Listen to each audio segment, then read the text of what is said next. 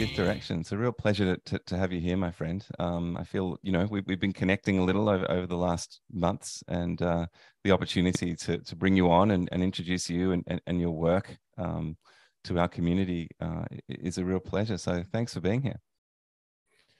Yeah, well, it's a pleasure to speak with you. And um, I, I, you know, I feel honored that uh, there's you have interest in my work. Uh, yeah, it feels really good. You know, we're um, on opposite sides of the globe, but there's that connection and the ability for us to actually have conversations and to um, have a peek into what other guys are doing around the world is really quite amazing and not something that was uh, so accessible to us just a few years ago. So, yeah, I'm always blown away that uh, you know, when guys like you reach out and say, I appreciate what you're doing and here's what I'm doing, and we can have this exchange, it's remarkable. Yeah, you know, I, I agree, and uh, and your work really really resonated with me. I felt like every time I saw one of your new um, podcasts drop, for for example, it was kind of like somebody I'd been thinking about, or or a theme mm. I'd been thinking about, and and there it was. Brian dropped something in my lap, which was kind of right on point. Um, so, I'll go on. Yeah, yeah. Uh, I was just going to comment that um, someone else actually reached out to me today with that exact same comment that uh, uh, every time a new podcast drops, it's right in line with what they've been exploring. And I think a lot of that has to do with the podcast being led by my own curiosity, you know, as I go along my journey and um, follow up on some threads. Sorry, there's some big machinery being moved down our roadway right now. Uh, so you might hear that. Let me know if it gets distracting and we can just pause. I can't hear it actually, which is which is great. Okay, good. Yeah, they're working on our road right now. We're on a little uh, kind of country cul-de-sac, and uh, they've upgraded the highway, and so they've been doing like lots of noisy work. Um, mm. Okay, as long as it's not coming through. Uh, but yeah so the podcast being led by my own curiosity uh, being able to connect with other people and hear from them just shows me that uh, when we're following our own curiosity there's a chance that other people are also on very similar paths maybe parallel paths uh, that intersect at certain points. And those points of intersection are points of like really deep connection. You know you could think of it as the collective unconscious or uh, maybe a cul-de-sac in the collective unconscious that we just both happen to be exploring at the same time. Uh, again, just another affirmation that there is a, a network of deeper connection that we're all participating in if we're listening and paying attention, you know, to those urges and drives within us. So, yeah, it's great. Yeah, I, I, really feel that to be true. Um, you know, tapping into something collective there. Um, it's a beautiful thing, and and it's good to see you had a couple of Australians on there too recently. Um, I, I, know the, the conversation with David Tacey I thought was was fantastic, and uh, mm. I, I mm. really feel like David is one of our hidden gems. He's, he's written so many wonderful books. Um, um, his his Jungian work is, is just incredible. Um, so mm. you kind of giving him a platform to speak like that. He has many, but kind of to this particular community was was wonderful. So thank you for doing that. Yeah, I enjoy David. Uh, there's an affinity, I think, between Canadians and Australians. You know, we're we're uh, we're colonial nations. We're still connected in some way to Great Britain.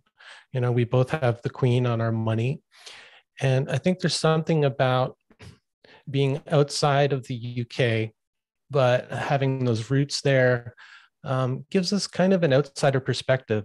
Like I find um, Canadian comedians and Australian comedians to be the most kind of astute observers of dominant culture.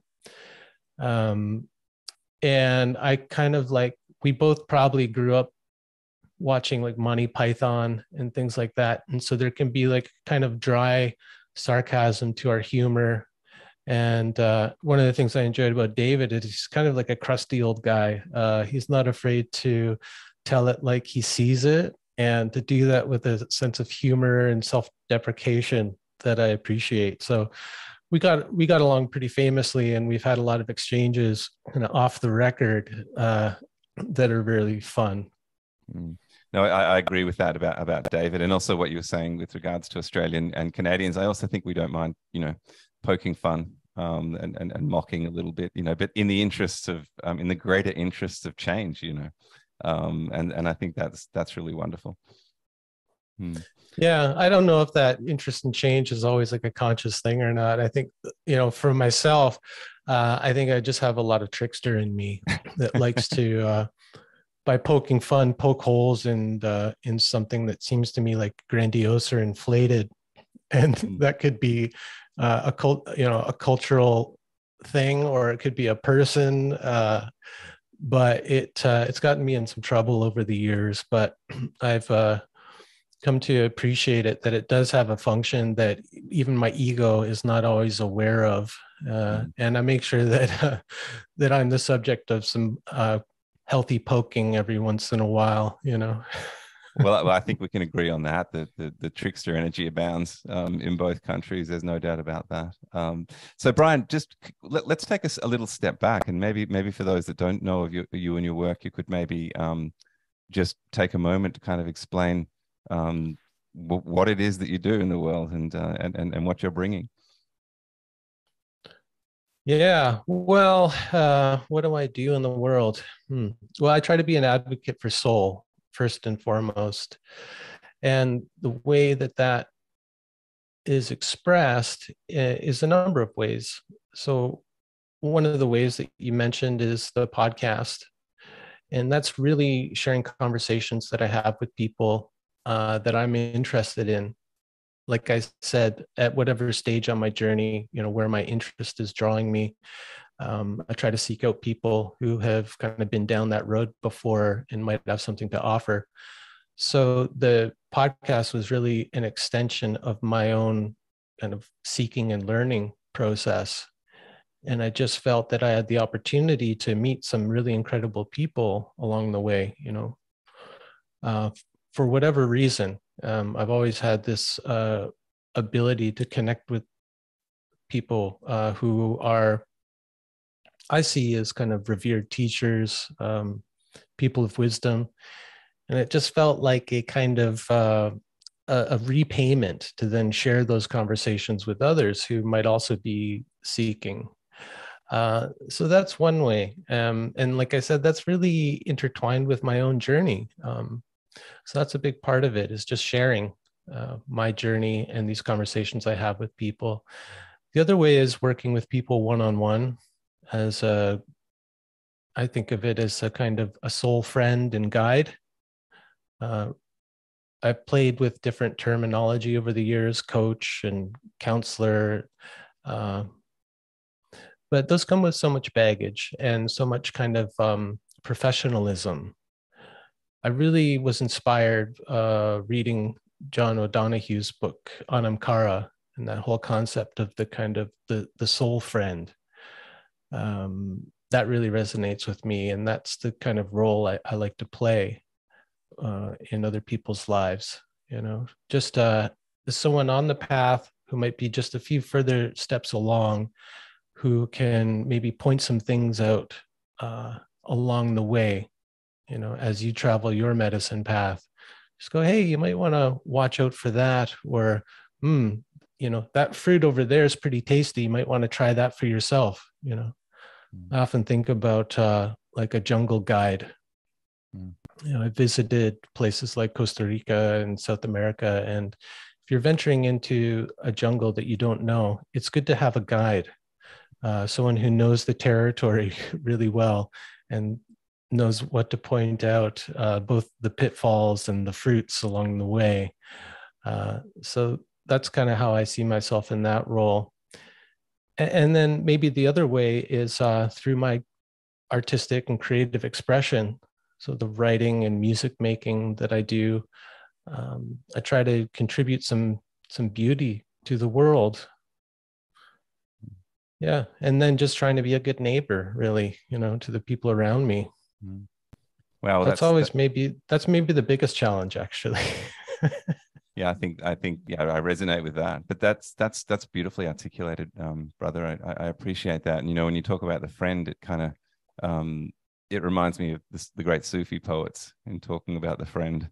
Um, mm-hmm. You know, that kind of that kind of idea of of the soul, or at least a, a guide a guide of the soul. It's a beautiful thing. Um, Mm-hmm. So thank you for everything like a, a, a, companion, even right? Just to have somebody else there with us on our journey, you know, as we go through these peaks and valleys, right? Mm-hmm. Like Rumi, you know, you mentioned the Sufi poets. Rumi, I mean, God, Rumi's the best, isn't he? Like, he's just like a uh, uh, a field guide for the soul or something. And he had his friend Shams, uh, mm. who he he met, and um, you know someone who offered him counsel and guidance mm. uh, so i think we all need that and um, it can be hard to find you know mm. so i try to just make myself available and that's how it started for me mm. it's just going look i'm here this is the work i'm doing this is what uh, i've been through um, if you need some companionship here i am mm. well i love that I love that, brother. And you know, it's interesting, you know, picking up on that Rumi thread that uh, it was when Shams died that uh, you know Rumi's heart kind of broke open and all those beautiful words poured out. It, it was mm. grief, you know. It was the beginning of his kind of soul soul descent, wasn't it? So, um, uh, mm. I think the whole thing is just such such a beautiful weaving. You know, I guess he entered the dark forest that that uh, that he talked about earlier, the jungle. You know, um, mm-hmm. it's a it's a beautiful thing. Yeah. And um, well, in that in that friendship with Shams, actually, another one of his poems comes to mind, or or a little piece of it. Uh, out beyond ideas of right doing and wrong doing, there's a field. I'll meet you there, and that to me points to you know it's kind of a guiding principle in um, the counseling or mentorship work that I do. It's to try to meet people in that field out beyond ideas of right doing and wrong doing. So beyond judgment in a, a place of the heart of acceptance. Um, uh, to meet each other there so that uh, we can learn how to be ourselves in relationship, which I think is the big goal. You know, Jung called it individuation, which is a bit of a stodgy term and uh, has maybe too much of the individual in there. Uh, but I, I, think for me, what that means is, um, you know, the goal of all of this inner work for me is so that I can actually be my authentic self in relationship with others, which is the big challenge. Mm. You know, mm. if I'm hiding out in my uh, little hermitage here in my yogic cave, no problem. I can pretend that I'm just being myself and I'm fully authentic. But as soon as I enter into relationship with another person, uh, that's where it's the hardest to maintain that authenticity um, and you know i think for each of us uh, different kinds of relationships bring that out more the challenge of that. And for me it's uh, it's been with other men. Um, men were the source of my deepest wounds early on. And so uh, really working to be in healthy relationship with other men has been uh, maybe the most profound part of my own healing journey. Hmm. Well, maybe you could talk a bit more about that, Brian, because I know you offer um, um, courses and, and and containers, you know, for, for men to do the work. And I'm I'm also um, kind of uh, piggybacking on that idea about it being a place also, you know, out in that field beyond right and wrong. That's that's where we can come together as as men, where there's no judgment, um, and we can just be and we can share our stories um, in a safe way, but in a brave way. Mm-hmm brave way because perhaps uh, out in that field beyond the ideas of right doing and wrongdoing. Now, I think that's important is that we're talking about ideas of right doing and wrongdoing. So those are really um, cultural ideas around morality, I think. Um, maybe there is something, you know, closer to uh, a, a truly right and wrong and, and how do we discern that? For me the way to discern it is it's is it serving life or is it kind of destroying life? You know that's like the fundamental morality for me uh, that i can judge most any action from and feel like i'm in a in, in a good place. Because i don't think we need to we should throw out judgment. Uh, and so part of that, being in that space with other people, men in particular, is also calling out uh, some kind of behavior or belief systems that are not contributing to the the good and the beautiful, you could say, or not uh, supporting life in its most creative and nourishing aspects. So that's I think where the bravery has to come in, the bravery to speak up if we if we see something wrong and the, the bravery to receive that and to self-reflect mm. and to question, you know, maybe this isn't the best thing to think or to express or to do, right? Mm. So just to make that disclaimer. Um, now, sorry, what was your question? Well, let me let me reframe it a little. Your your um, the men's work that you offer, I guess, is is, is where right. I was I mm-hmm. was um, orientating us. But you you you you work archetypally a lot, don't you? Um, with king, warrior, magician, lover, and, and those spaces. So I'm interested in perhaps the men listening might be interested in in how how that kind of functions for you. Hmm. Yeah. Well. Uh, hmm. I'd done different kind of forms of men's work over the years and uh, gone to different men's circles and things like that. Uh, and I think those can be really good because those can challenge us in all kinds of different ways. Uh, but for me, the way that I work at this point, anyway, I really like the one to one work. Um, I think that can really help us to get down to the core of things more quickly uh, so that's what I've been doing for the past few years. And yeah, I, I did develop a course based on Robert Moore's work uh, that is for individual men. And um, it's it takes place over six weeks. And so there's a lot of reading and listening that's a part of that. So there's an educational aspect about it too, because I think particularly the King Warrior Magician Lover model that Robert Moore presented is a really helpful way for men to begin to self reflect and to orient themselves. Um, it's just really useful. I mean, I don't take it always so literally. I don't uh, try to, I try not to be confined by that model because, of course, there's many more archetypes that are alive in us. Uh, but I think he did a really good job at identifying these four key archetypes in the masculine psyche. Um, so he already laid the groundwork. And, you know, I looked at maybe coming up with my own model um, and things like that. But I just felt like there is something in the continuity of picking up where he left off in that work. And of course, he wasn't doing that work alone. He was doing it alongside people like Robert Bly and, and Michael Meade in particular. Um, and so there, there was something good about that, that felt good about that is the continuity, picking up where some of our elders had left off. And so part of that is when I work with men individually, is really making sure that we bring it on home uh, in their actual lives um, and not get lost in the, the theoretical, the abstract, which I think is one of the pitfalls for a lot of men, especially the men who come to this work. They generally have a lot of magician in them. That's one of their main sources of power. A lot of the guys who are interested in self development work, because the magician archetype is the one who leads us into the work. It's the part of us that wants to know and to understand, um, to figure out, to um, learn different systems and things like that.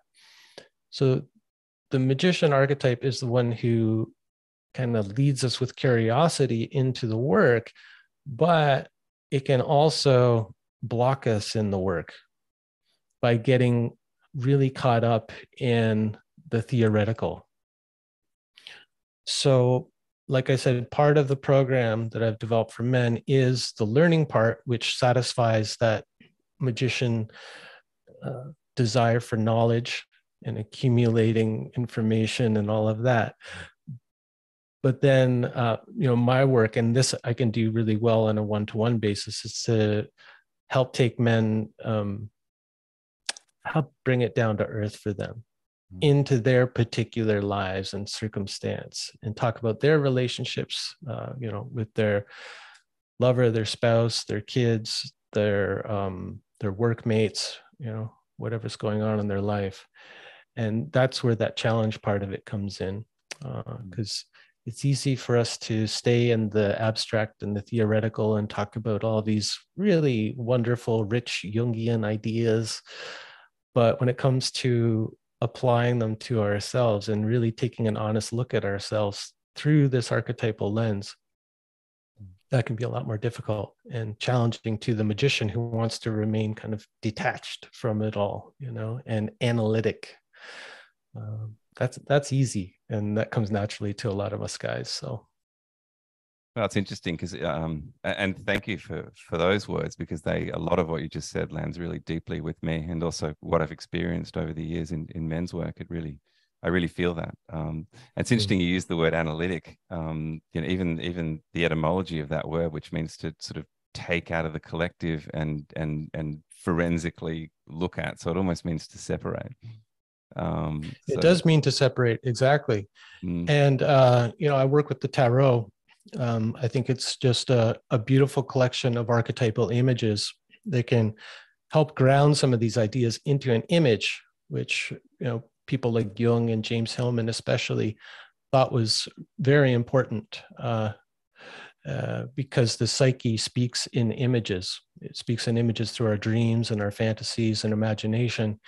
And so having a, a kind of uh, a book or repertoire of archetypal images whether they're through cultural stories or things like that, is really important for us to again bring it down to earth.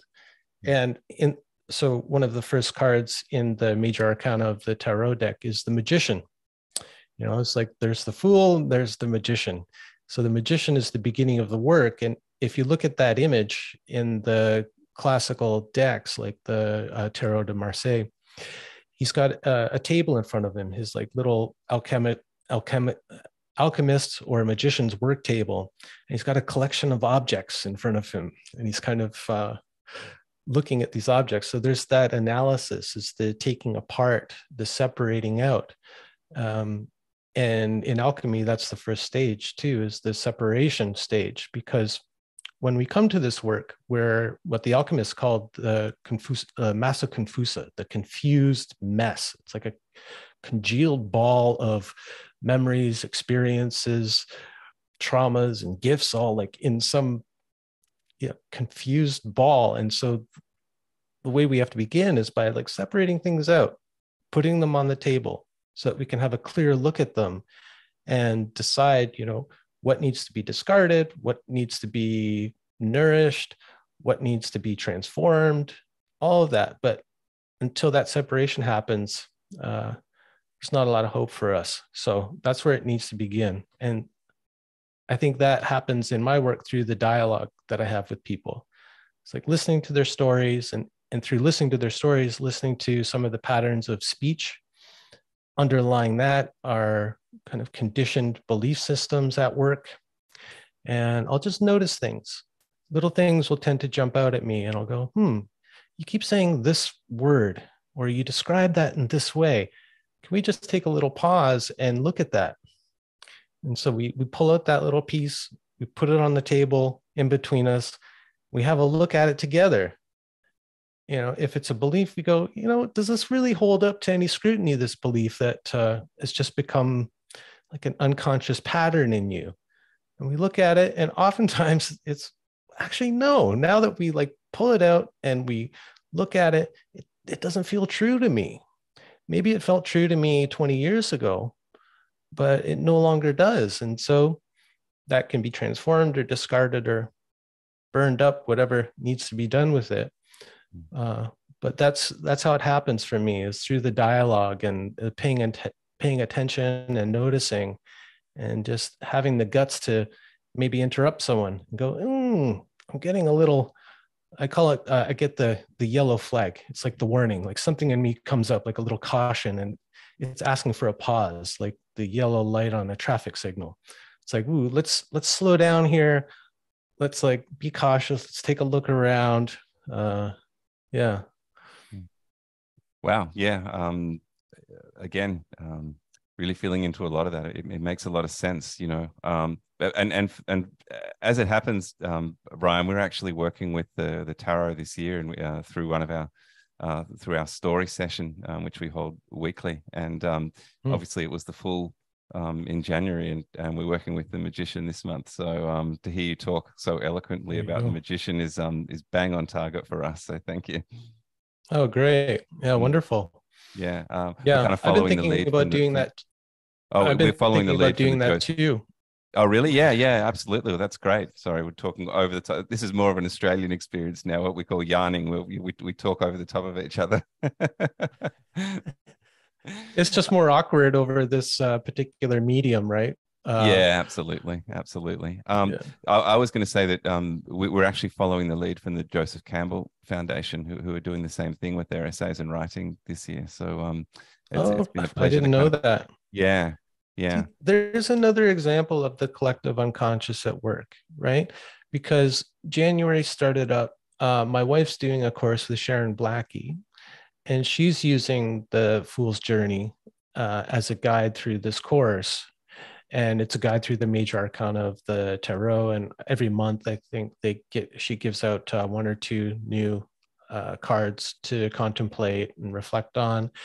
Uh, and I was like, hmm, that's a really great idea. I think, you know, I should start doing that. And then now you tell me that you guys are doing that this year. Joseph Campbell Foundation is doing it. So there again, it's just like, ah, it's amazing. It, it feels good when you hear that, doesn't it? There's something, some part of you which kind of, it's almost like there's a release. The shoulders drop, and you're like, there's, there's something there. I, I understand something now. Well, it's, I understand that I'm not alone in this you know that like i am connected to these other people and until we reveal something of ourselves you know what we're interested in what we've been thinking about what's uh, lighting us up at the moment we may not know that there's this other connection so in that's one of the gifts of the vulnerability and the opening up of oneself and sharing with others is you find out oh I'm not alone in this. Other people are being guided toward this too. Uh, we're all part of some greater process. And then for me, it's like the affirmation of that. And it also offers some encouragement like, hmm, that was a good instinct. Other people are like already, and for me, it doesn't get into uh, competition. You know, I don't think, well, those guys are already doing it. And you know i've got such a small following compared to the fifth direction or the joseph campbell foundation like uh what's the point you know but mm. for me i get more of the encouragement of that like no no take care of your little corner of the world over here you know with this like bigger idea that other people have picked up on as well so yeah it's kind of exciting no, I, I like that, and um, you know, uh, an affirmation for me, for example, when you were talking about King Warrior Magician Lover, because that's something that we also use as a part of our kind of container for men too. And um, you know, I, I, can see some of the areas where perhaps you know, and, and I can feel the criticism from those that might, might look at it with more of that you know magician's eye sometimes and try to pick it apart analytically. And as you said, you know, there are more archetypes, and you know, maybe it's not a good idea to sort of codify the archetypes so precisely, but I 100% agree with you. It's such a great foundation um, mm-hmm. to to use, and um, and the idea of kind of picking up the baton um, from those men, you know, Moore and and Robert Bly, and Michael Meade and so forth. It just feels so good in my bones. Um, so um, and I appreciate so much everything that they've done it in more ways than I could explain in this conversation. Um, so it just it just feels mm-hmm. so so so right to me. Yeah. And I mean, having some appreciation for all the work that they've done, wouldn't the thing that they would want most from us, wouldn't the best way to honor their work is to be to continue it? Right? And not just regurgitate it, because some of that stuff is a bit outdated. You know, it, it's just, you know, these are guys from a different generation. So they had a whole different set of cultural reference points. You know like when robert moore talks about the the warrior for instance he talks about like the movie patton uh, about general patton the american general. Um I, you know I, I don't know about that guy. I don't really care to learn so much about him. You know, he's part of the whole American war machine, and like, I'm going to find other uh, uh, other expressions of the warrior archetype that speak to me and and people of my generation, perhaps, and that's going to broaden it some more. And I think just naturally start to update the work, or at least the references that we use in order to bring the archetypes alive you know for people. So like you know for instance the lord of the rings trilogy is full of these great archetypal figures. And uh, it's a really wonderful modern myth that sprang from the same source as the the myths of old. You know i think tolkien especially was really deeply connected to the archetypal realm.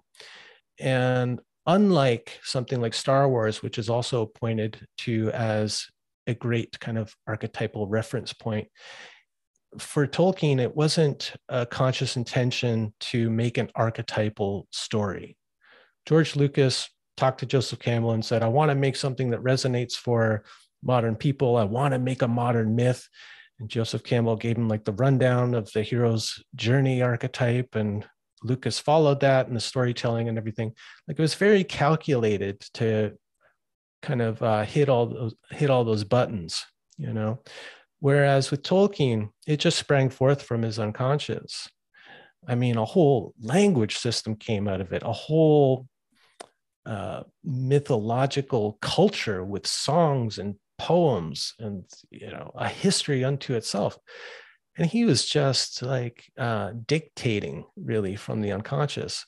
So therein lies the difference for me um, you know what's a true myth and what's not. Uh, when it comes from that deep source and you're just struggling to keep up i mean the amount of writing that he did it was just obviously pouring forth through him and everything in his life had prepared him to be the um, the dictator of the story or the the scribe maybe is the better word you know mm-hmm. like uh so yeah taking the work of those guys continuing it forward letting it be refreshed along the way. So not getting uh, so rigid around them as authorities and experts and kind of concretizing the work which for them was always evolving and always alive. So like let's keep it alive. Let's keep uh, you know reflecting back and see where these archetypal figures that they were talking about where they're showing up for us in the here and now you know keep it relevant that's what's meant to happen i think mm, no i, I agree um, and i think you know for me you know one of the things that i've admired about following your work is you, you um, how much you've kind of tracked um, the work of, of, I guess the the mythopoetic guys, you know, all, all, the way back. It's um, it, it's wonderful. You know, it really feels like you've got um, um, you, you're looking closely, you know, um, and, and picking up mm. all the pieces. And I think that that you know kind of leads into how we started to communicate with one another, which was around your work in archiving um, those sort of um, hidden, forgotten lectures from the Alabama Men's Conference, and uh, you know, I really felt mm-hmm. something in in in listening to the passion in your voice and kind of um, doing that work, which you know, it's certainly not going to be um, anything that's going to bring you any financial reward, but it feels like it's part of your purpose and part of your, you know, what what you're bringing, um, your, gift to um, those that are following in the footsteps of of those those men. So I wanted to say thank you for that, but also mm. maybe offer you the opportunity to talk a little bit about what you're doing in that space. Oh, sure. Thanks. Thanks for noticing. that feels good just to have you like notice and appreciate something I've been doing kind of on the side, like because you said it's uh it's a labor of love. Um well, you know, I think for my whole life, I could safely say I was always interested in archaeology and anthropology, of like kind of digging through the bones of our ancestors. And being a person who was born in Canada and second or third generation here, there's not a lot of bones of my ancestors here and um, because of the nature of my family being quite fractured, uh, it's been really hard to do the archaeology through my personal lineage. You know, the bones of my actual ancestors. It's been a really difficult task, um, and I may have gotten as far as I could, going back three generations only, which there's a lot of grief around that. But uh, along the way what i what i came to realize was that we all have kind of spiritual ancestors people who may not be blood related to us but whose work whether that's creative work or scholarly work it speaks to us on the level of the soul it resonates with our bones and I've been able to identify a handful of people who came before who, when I read their work, I feel that resonance. You know, it's like my bones start humming. And every time I go back to their work, it's like I, I get re nourished by it. You know, there's still some food for my soul there.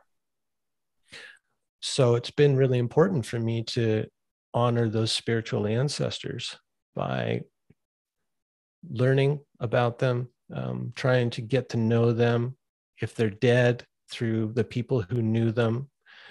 Uh, and really, it's like, yeah, their work having like a special place in my library. Um, and so meeting someone like John Lee, who's one of the people who was there at the beginning of the so called men's movement in the 80s and 90s, a close friend and uh, student, I think, of Robert Bly. And also getting to meet Michael Meade, who also was closely involved in all of that. Uh, hearing their stories, and then also hearing their stories about Robert Bly, who passed. And the years before he passed, he uh, was, you know, he had dementia, and so he wasn't uh, he wasn't public, he wasn't speaking anymore, so basically unavailable. Um, that's felt really important to me personally just getting to know these spiritual ancestors as well as i can. And the same i went through the same thing with my yoga lineage as well.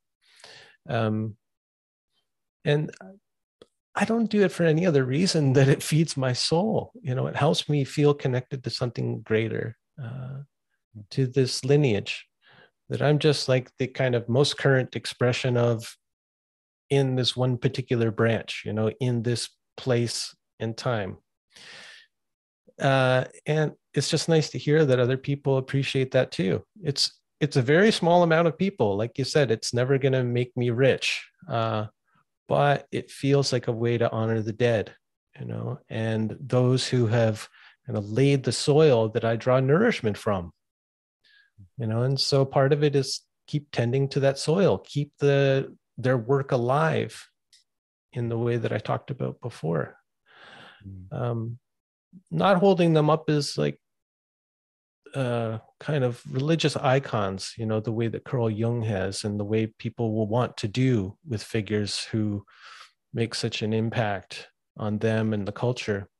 Uh, but really trying to just understand them as human people accepting that they uh, none of them are perfect but they were tapped into something that is contributing to the greater human culture mm-hmm. in honoring that you know yeah that's um beautifully said um really i i, I feel that you know um and and um, uh, particularly admired uh, the way you handled um, the passing of, of Robert Bly and those beautiful tribute um, conversations that you had with the likes of Michael and John and, and Martin Shaw and and others. Mm-hmm. It was just um, beautifully well handled, and I've actually found myself going back to those more than once, which mm. is which is which says something. Um, plenty of things to listen to but, out there. yeah, well, there is that's for sure. But I'm interested in like what keeps you going back. Like, uh, what does it give you? yeah it's, it's very similar to, to the words you were using earlier um, it's almost um, it's almost like i need to rehear some of the things um, that were said um, to understand more about about his life some of the stories that were shared about you know robert's early life and it gives you a bit of a it gives you such a great insight into a man who means so much to me who i consider a mentor who who I never met, you know. So there's all these Mhm. little kind of breadcrumbs that, that get dropped in those conversations with men that were around him um, a lot. You know, um, it, it, it, it, it, I feel like bringing up, you know, Walton Stanley and, and Tim Young, who, who, who are obviously very early, um, very early um, names and faces with the Minnesota Men's Conference, and having them come and speak to our men once a month at the Fifth Direction is just beautiful because they drop all these little anecdotes and and um, and things that happened. I know you've had them on your podcast as well, so you might feel some of that. But that also helps us feel connected, you know, all the way back into into those roots, having those men's energy, their voices, and and and their faces um, around us, and and listening to the the old stories. It's just it, it really fills me up in the most beautiful way. And I know in speaking to the men in our community that they feel similarly. So um, yeah, Mm. that's I guess that's all part of it. let me let me check with you on this uh this is something you know that it gives me hearing those anecdotes. You know people who are close like physically close to that person. And having spent time with you know one person in particular an early yoga teacher of mine who took me under his wing and took me around the world and all of that um, getting to see who he was off stage you know was really revealing to me and instructive. And so one of the things that i get from these personal anecdotes um, is a humanizing of someone like robert bly who we're talking about. Uh, and that what that does is kind of um, take the icon off the shelf in a way which for me is important to always remember that this is a this is a real human man with his own limitations and struggles as well as all of those gifts. But not lose sight of the uh, the the other aspects right? Um that so that kind of takes the icon off the shelf. What it does also is encourage me you know because i know most intimately all of my own limitations and foibles and idiosyncrasies and all of that. And if i don't remember or if i don't even know of the more kind of human aspect of some of these figures i'll tend to uh, maybe not be so willing to share the gifts that I have because I might think I'm not worthy. Like, who am I to talk about this? You know, I've got all these problems in my life and I've got still so much work to do. And like, ah, oh, who am I to to talk to people about these things or to, you know, so that's a big part of it for me too, is the the humanization, the relatability. It also serves as a kind of encouragement, you know, um, that you don't have to be a a perfect person, completely integrated, all those other fantasies that uh, we can be blocked by, uh, blocked in sharing the gifts that we do have to offer. You know, maybe the little, oh, the little bits of wisdom that we might have picked up along the way, or might have, you know, blossomed in our own soil. You know, that are unique. Like, oh my God, can you imagine? You might actually have a unique bit of wisdom to share with the world, just like a Robert Bly or James Hillman or Michael Michael Meade or whoever, you know, a Rumi. Mm-hmm. Just imagine that you might have something in you that is that is bursting through the soil at this particular time and place for a reason. You know, a bit of wisdom that Robert Bly or Michael Meade or whoever couldn't have had because they weren't you growing in the soil in which you were planted. Right? Like what an what a terrifying but liberating idea to just ponder that you might have something really unique and original to offer the world. Mm. And isn't it interesting? How many times do you get told that growing up? Yeah, I know that's right, Brian. And, and, you know, isn't it interesting that that understanding um, of, of, of what's possible for you comes from looking at the imperfection of the people that you look up to, not not not their kind of not not the other side of it, all the beautiful, amazing things they say when they're tapping into their genius. It's actually looking at them as just a regular human being and seeing some of their flaws and imperfections that makes you realize all that. So um, I think well, I think that's what it, what it can do. Having the, having a more complete picture of the person can kind of dim the light enough emanating from that figure that your own light can then find a place in the world. Because otherwise it's just blinding and you're just dumbfounded by it. You're kind of arrested by it. You're stopped from doing your little piece of work in the world maybe right? I think that's a pretty common experience for a lot of people. Mm. you know so i'm saying like see them as human beings you know it dims the light a little bit maybe so that that little ray of light from in your soul can shine into the world because it's there and it's meant to be shone into the world. Otherwise you wouldn't be here. Mm. end of You know, story. yeah you know one of the um, little documentaries that i saw which really um, um, taught me that lesson was a literary friendship. Um, and it's the conversation between robert bly and, and william stafford and it's very raw it's very you know Oh. it's almost looks like that they're, they're not even aware that the camera's in the room at some points and they're just they're just wonderful and they're just they're just you know shooting the shit and and being a couple of Mhm. guys and um it's it just you know uh, me looking up to to bill stafford as a poet and and and obviously everything around robert bly just to see two guys just talking like that and it just uh, it just uh, again it just made it made me realize what's possible for me um and all, all, in all the Yeah. ways that you mentioned earlier Yeah. Bly, I mean, this is one of the reasons why he's got a very prominent place on my tree. You know, James Hillman talked about the idea that we all need to find out what tree we're on. Um, and that will help us navigate all of the all of the books, videos, all of the the stuff out there. You know, if we start doing this kind of work, we're inundated with uh, with teachers and experts and um, traditions, practices, all of it. It's just too much. It can be overwhelming. So a great first step is to just start to figure out who's on your tree. Like when you read that person or listen to their voice, does it start that humming in your bones? You know, do you feel that resonance? Are they some kind of spiritual ancestor or brother or sister? Um, start to figure that out. So Bly's got a prominent place on my tree for the reason you just described.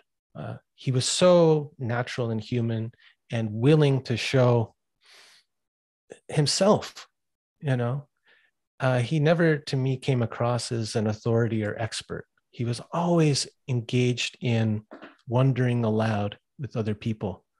And I go back to those conversations all the time, too. There's some uh, great ones that he did with a guy on a radio show called uh, New Directions.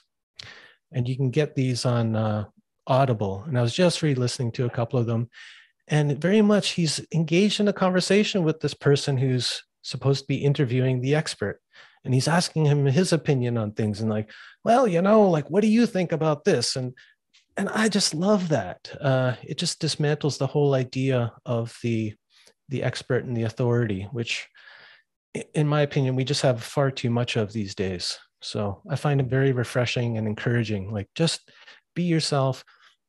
Don't try to be the expert. Don't try to be the know it all. Uh, Mm. Just be curious and open about the curiosity.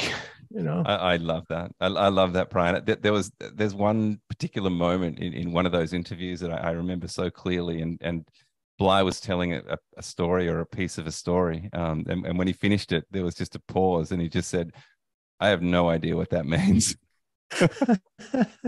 and it's like just this wonderful moment, you know. Um, yeah. yeah, he he- was just curious, and and that's a beautiful thing.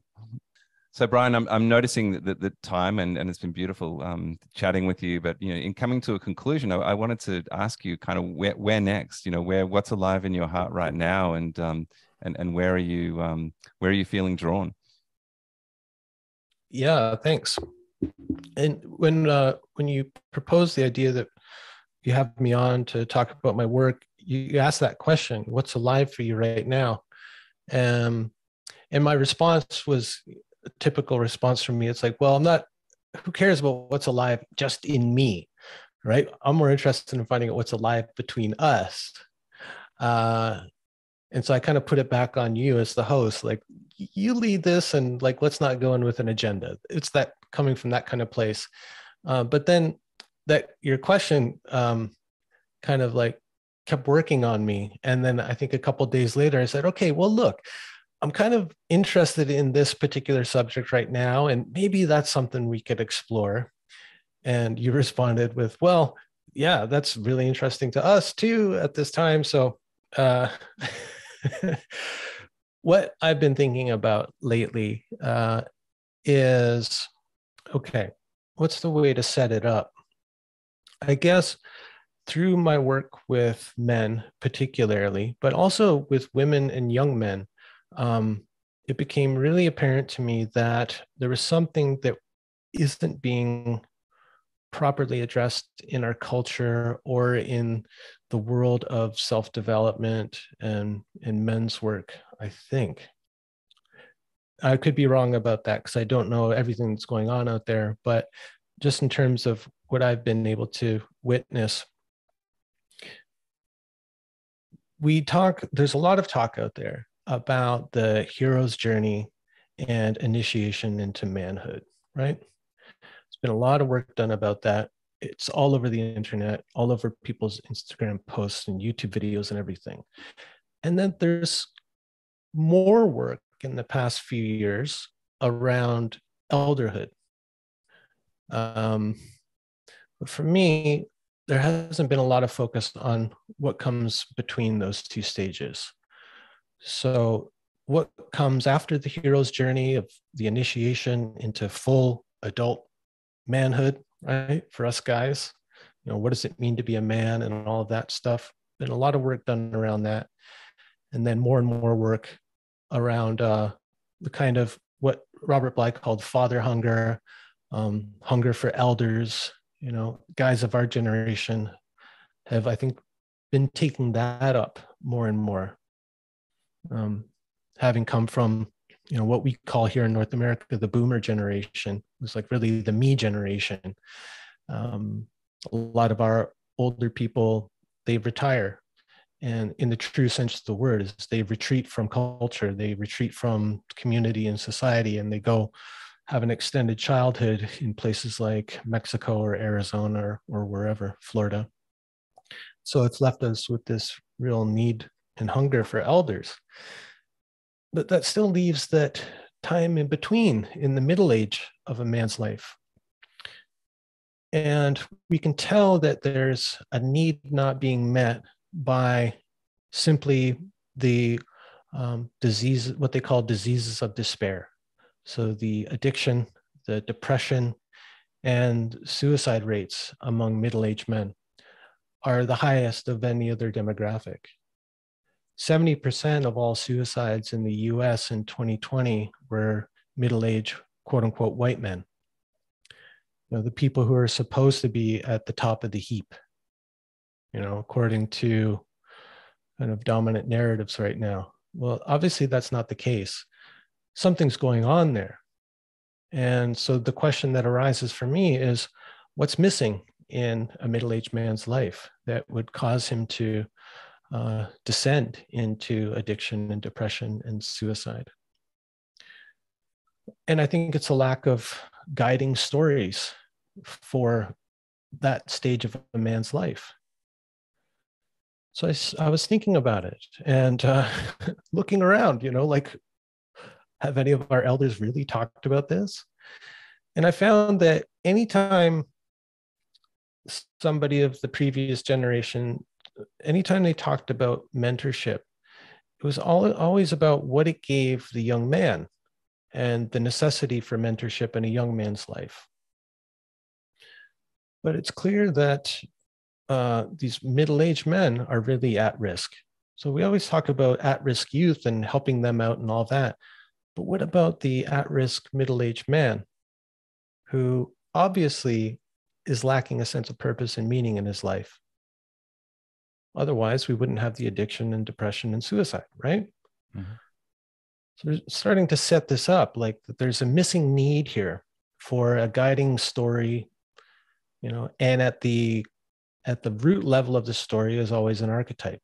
So what's the archetype that uh, is missing at this stage of a man's life? So following that, you know, I've started to get a sense. Well, I think it has something to do with what's been called the wild man archetype, which immediately brings up all of these different images and ideas. Many of them, I think, are misleading. So I'm interested, you know, when I mentioned, you know, I, I'm curious about maybe exploring the wild man archetype. Just immediately, what does that bring up for you? What kind of associations do you have to this term? Yeah, I mean, for me, it's it's probably um, around you know reconnecting to my primal side. Um, you know, I, I, start thinking about um, Martin Shaw's work around the wild twin. You know, this this part of me that I've kind of left out um, in the forest to fend for itself, which is kind of um, full of my my wounds in a sense, um, and and obviously, clearly, the story of Iron John. Mm-hmm. Yeah, the hairy wild man in the woods. Correct. At the bottom who, of the uh, bottom of the lake. Yeah. Yeah, who's been submerged in the in the pond, out of sight, out of mind. Um, that's where I was led to, is thinking about particularly Bly's work around um, the Wild Man, Iron John, Iron Hans. Uh, the thing about him, though, is he's still pretty wild, right? like in the wild man in uh, different cultural stories and depictions was often seen as uh, not a part of community at all i mean he was literally a man living like a wild beast in the forest and if we think about a figure like pan uh, he's keeping something alive keeping something of the wild alive but not integrated into the community because he's just too wild. But he's there, and maybe once a year they would have a festival where they'd invite the wild man into the festival, just as a reminder that uh, at our core we are still wild, but not integrated. You know, allowed in once a year. uh, and so I think you know what I've been kind of getting to is that there's the wild man is maybe one stage in what needs to happen in a man for him to be a mentor. And so I've been focusing in more on the mentor as a as a role, as an archetypal figure, and doing some wondering about that. You know, what is it that makes a mentor? Uh, what does the man acting as mentor get from the mentoring relationship you know we know what the what the young man gets from it we know what need is being filled there but i'm saying that the man acting as mentor gets something necessary from that relationship as well. Something that will give him that sense of purpose and meaning in his life that will keep him from falling into absolute uh, disrepair. Mm. so i think reclaiming the inner wild man that part of it that's a, that's an aspect of it. But i think uh, he has to evolve somewhat so that he can be actually integrated into the community so when i think about the wild man i immediately associate it with those stories surrounding the men's movement of the 80s and 90s you know people from the outside hearing about it and just picturing uh, men getting naked in the woods playing drums and screaming and shouting. And that's not untrue. A lot of that did go on, but there was a lot more going on.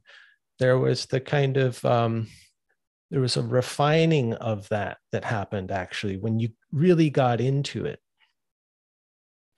I mean, the, the true kind of primal wild man of the woods he's not interested in poetry or or music or anything like that he's living like a wild animal you know it's not safe to have him in the village uh, so what happens when the wild man kind of evolves and uh, becomes more integrated in a man i think what we get is the mentor so looking at uh, well lord of the rings for instance gandalf classic mentor, and very much someone who's integrated the wild man.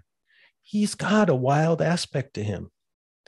You know, he where's Gandalf's home? We don't know. He's kind of wandering around. He's quite at home in the wild. Um, we see him shape shifting, communicating with animals and creatures. Um, he's got that, but he's also uh, more refined. You know, he's able to come into the village and serve a role and and all of that. Um, he's interested in more than just his own survival and thriving. You know, he's he's got that elder quality in him that uh, is interested in upholding the good in all. You know, peace and harmony in the kingdom and all that stuff, right? So Gandalf, Gandalf is there. I got Gandalf in my sights. Going, hmm. But he's still he's still kind of old. I don't know. Is he the old wise man? Hmm, I don't know. Uh, Merlin is another figure that I'm getting I'm getting really curious about exploring more deeply. Uh, Merlin started out as a warrior in service to the king. When the king was killed in battle, the Welsh king. So this comes from the, the Welsh tradition around uh, or Merlin. After the king was killed in battle, uh, grief was so great that he had to retreat into the woods, and there he went mad. So he went he went wild, but he didn't stay there. You know, in the stories, he uh, he then ended up being a mentor to young King Arthur. Um, so Merlin, I think, has got something to tell us there. There's a story to be told there for middle-aged men um, about the journey through grief, the retreat into the wild, the um, getting in touch with your natural side more, but then coming back, you know, with something to offer. The other aspect of the mentor that I think about is uh, mastery the mentor has gone through life, he's lived the first half of his life gaining mastery in some area of life. Uh, he's done his 10,000 hours in at least one area. So he's got something valuable to pass on, to teach. So men who haven't got that, I'm not sure what they think they're offering, you know.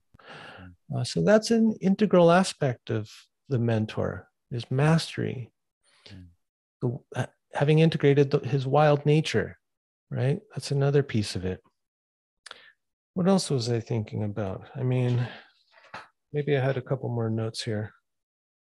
Uh, that, um, yeah, that he embodies authenticity. I mean, that's part of embracing the wild man is embracing your your authenticity, right? Giving less fucks about what other people think about you you know how you dress how you wear your hair how you speak all of that right? I think that's a big part of it. The living outside of the village or you know we could think more broadly living outside of culture like just on the outskirts.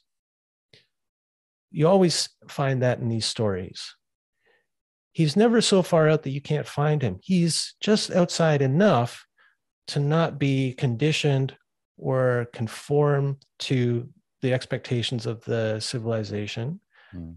but he's close enough that you can access him. You know, Meade talks like about Michael, the, the, one foot in, one foot out. Brian, you know, one one foot in the, in the mm. domesticated, one foot in the civilized, and one in the un, uncivilized. That that's kind of where this mentor sits. You know, um, and I really yeah, like that like kind of image.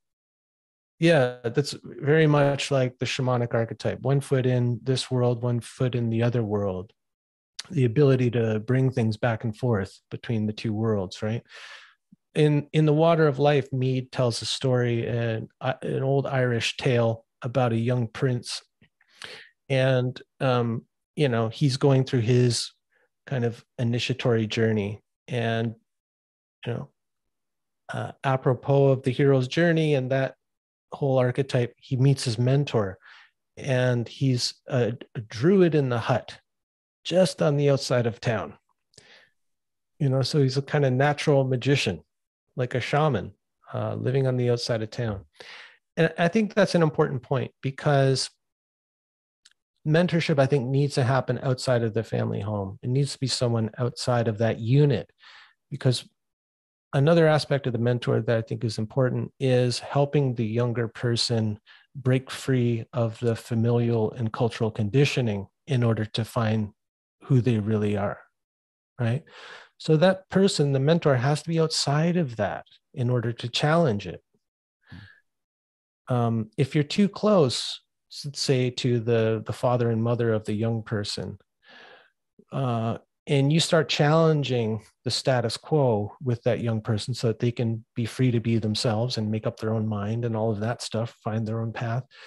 Mom and dad likely aren't going to be too happy about that, you know, because the young person may become more um, non-conforming and mm. disruptive to the family unit, right?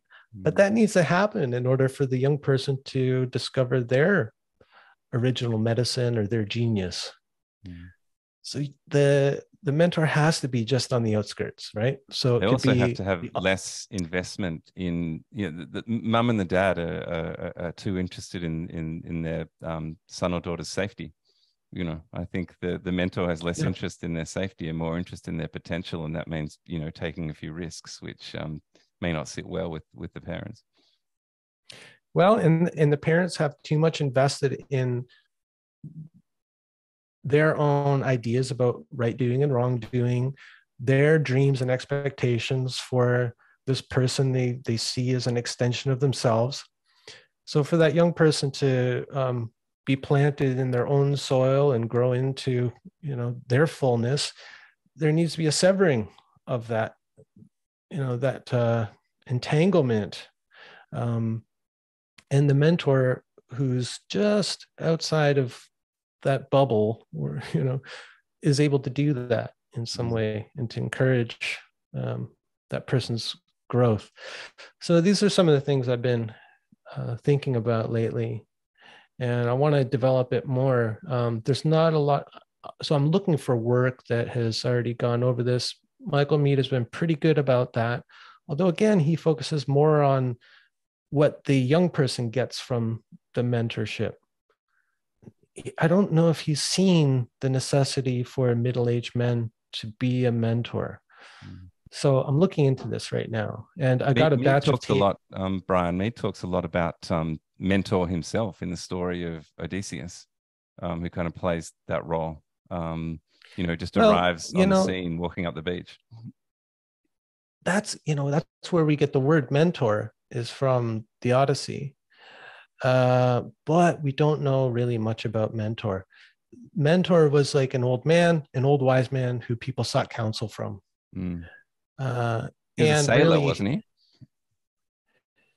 Uh, I'm not sure. You know, there's so hmm. many kind of stories in you get into the Greek myths and you hear all kinds of little different tidbits about particular figures, but mm. I haven't been able to find out a whole lot about Mentor and I mean, he was really taking care of Odysseus's son uh, while Odysseus was off at war for 20 years.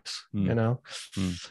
is that more like caretaker than the kind of mentor I'm talking about? Like the Yoda figure, who, yeah. when you're at this stage in your journey of individuation, you you find them and they teach you something that's really important. They see your gift, they help draw it out of you, they encourage that growth you know that's something very specific right? Yeah i agree although although mentor kind of fits the bill in the sense that he wasn't close to the family in that way he just kind of appeared out of nowhere. Um, we don't know where he lived or where he was he just you know um, he just was wandering up the beach you know?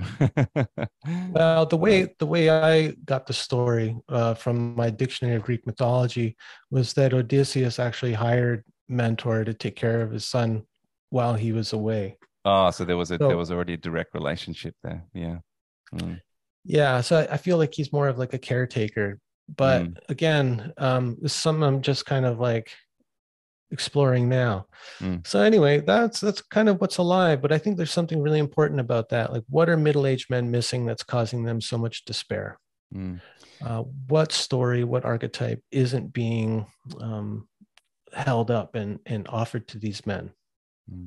Well, there's there's so much there that, that resonates with me, brother. So I really appreciate um, you sharing that. You know, kind of looking at what's on the edge of of where you're going um, with your work. And I I think that you know everything you said there um, makes a lot of sense to me at, at least anyway. Um, mm-hmm.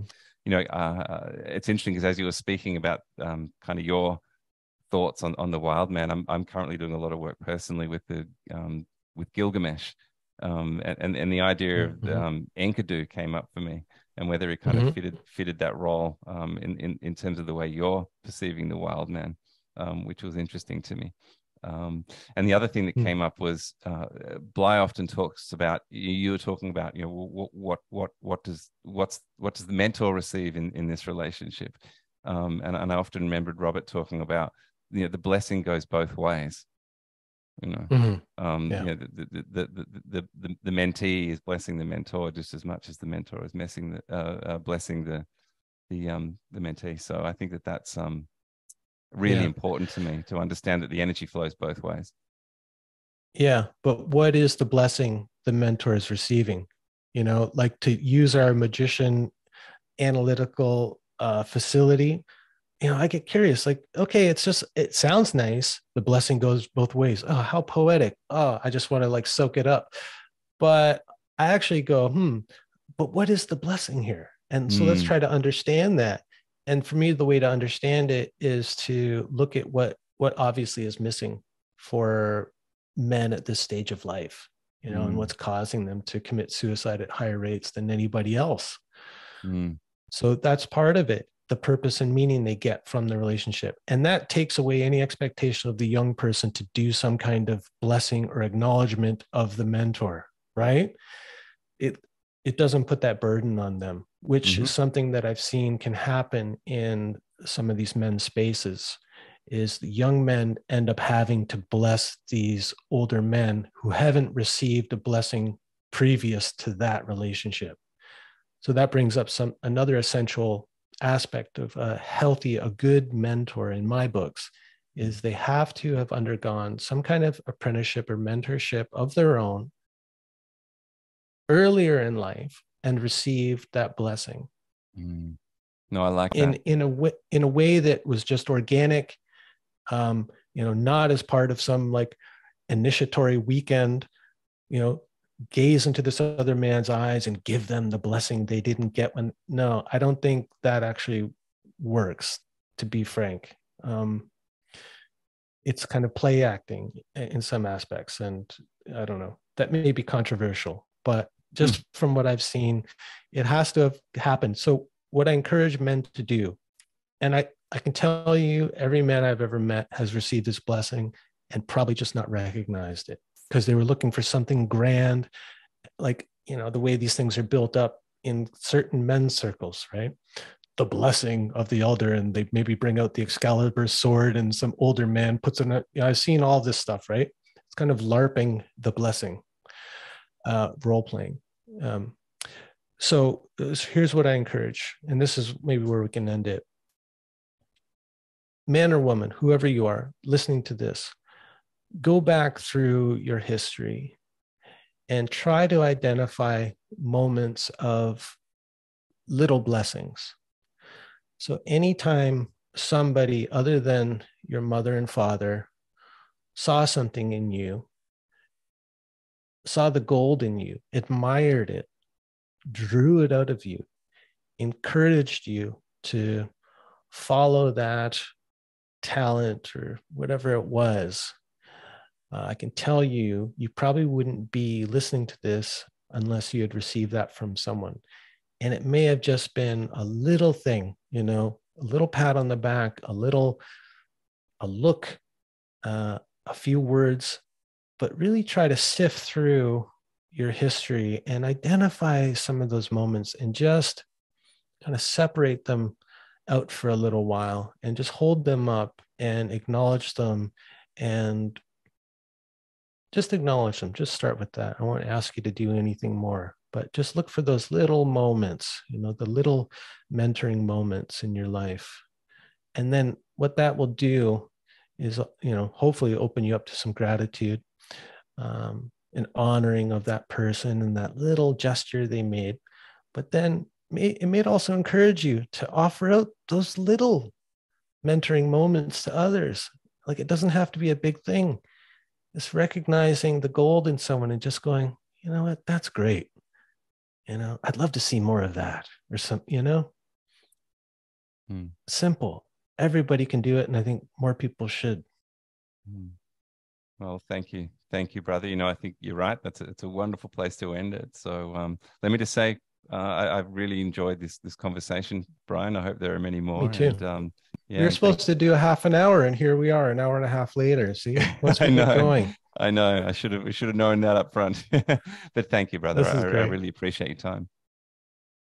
Oh, I'm so grateful um, for you inviting me and to drawing some of this out of me. You know, some of these things that have just been kind of rattling around in my brain. Um, it's it's really nice to have someone to uh, you know it's like we open up a channel and um, something can come forth in that channel and uh, that's what this opportunity's been for me and i'm really grateful for it.